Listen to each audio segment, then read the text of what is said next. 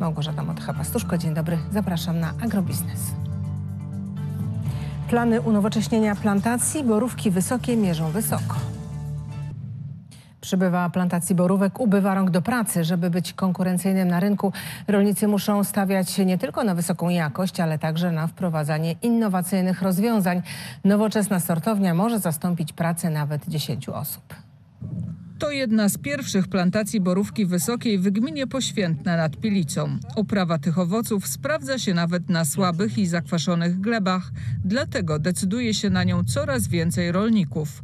Początki nie były jednak łatwe, bo nikt nie wiedział, czy udadzą się w naszym klimacie i czy będzie na nie popyt. Zaczynaliśmy uprawę 20 lat temu na 500 krzakach.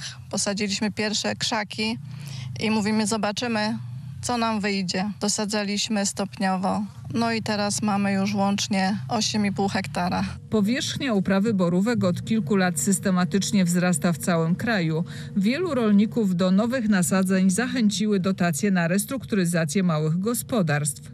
Plantatorzy już w poprzednich latach mierzyli się z borówkowymi górkami, ale w tym sezonie owoców jest mniej. Wiosna była zimna, były przymrozki, przemarzły. Jakoś tak szło falami. Później ze dwa tygodnie, może ze trzy tygodnie temu był u nas grad. Też trochę uszkodził. Owoce deserowe najwyższej jakości zawsze są jednak w cenie, dlatego plantatorzy zdecydowali się na zakup nowoczesnej linii do sortowania. Dla nas w naszym gospodarstwie indywidualnym się bardzo sprawdza. Zastępuje jakieś około 10 osób. Udało się ją wypatrzyć na targach ogrodniczych. Chodziło nam już to po głowie wcześniej, ale ze względu, że Polska to jest maszyna, poczekaliśmy rok czasu na tą maszynę. Bo linia do sortowania borówek jest dostosowana do potrzeb gospodarstw rodzinnych i można powiedzieć, że powstała na ich zamówienie.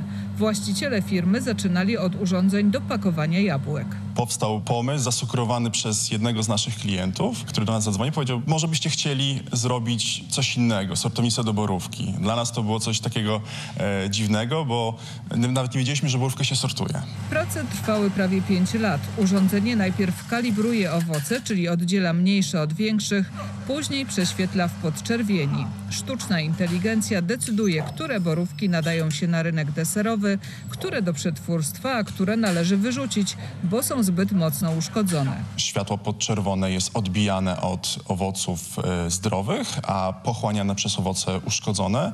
Stąd możemy rozpoznać owoc, który e, jest twardy, zdrowy, a owoc, który zaczyna gnić. Borówki można pakować w różne pojemniki w zależności od zapotrzebowania odbiorców.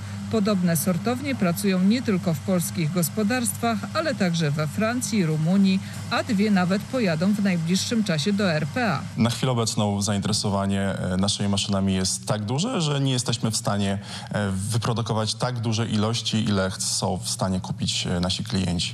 A firma już pracuje nad kolejnymi wynalazkami, by ułatwić pracę producentów owoców, bo cała branża stoi teraz u progu rewolucji technologicznej.